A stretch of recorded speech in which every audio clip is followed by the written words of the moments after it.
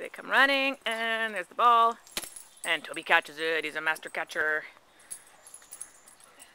Okay, I don't want to step in any poops here. That's Jacob. Jacob, sit. Oh, no. He really hasn't learned too many tricks yet. Mr. Jacob. There's Toby trying for me to get the ball. Jacob! You guys are very cute. Look how cute you guys are. Look at that. Okay. There's the ball.